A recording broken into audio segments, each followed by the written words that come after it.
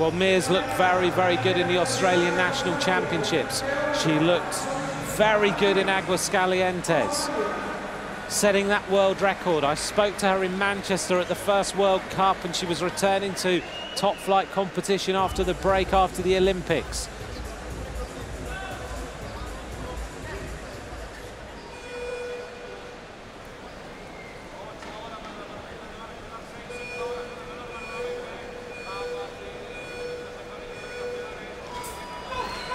33.909, the time to beat for Anna Meares as she grits her teeth and gets that gear rolling. She's got the double disc wheels in.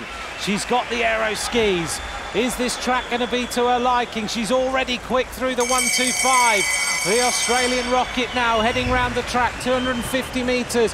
She is under 19 seconds for the opening. 18.989 for Anna Meares. Now she's really got to accelerate through the last 250. The time to beat, 33.909. As she hits the line now, 33.548. Anna Meares is top of the leaderboard.